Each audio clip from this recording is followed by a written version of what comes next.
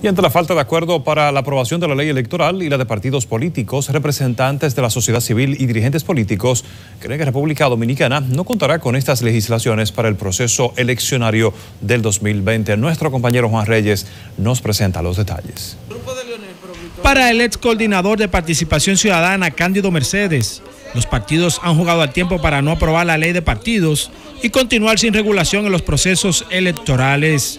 Considera que ya no hay tiempo porque además de la legislación se requiere el reglamento de aplicación de la misma. Y entonces no vamos a tener ley de partido, pero ojalá le damos todo el apoyo a la Junta para que siga mediante reglamento, resoluciones, haciendo lo que tiene que hacer, porque la Constitución le permite hacer lo que hizo. Igual posición tiene Ito Bisonó, que estima las cúpulas partidarias se rehusan a cumplir la ley. Quiere decir que agosto está al doblar de la esquina donde termina una legislatura y no se ha aprobado la ley de partido político y perime.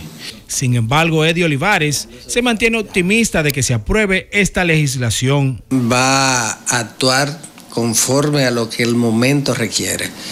Y los propios, los propios líderes políticos son los que han podido darse cuenta en este momento de la importancia de una regulación. Advierten que la falta de la ley de partidos y la electoral afectaría la labor de la Junta Central Electoral. Porque para la Junta era más fácil una ley.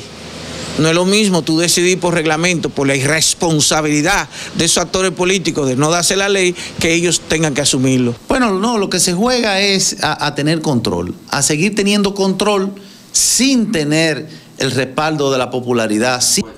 El plazo dado a la comisión que estudia la pieza vence el próximo jueves y la legislatura concluye el 26 de julio. Juan Reyes, CDN.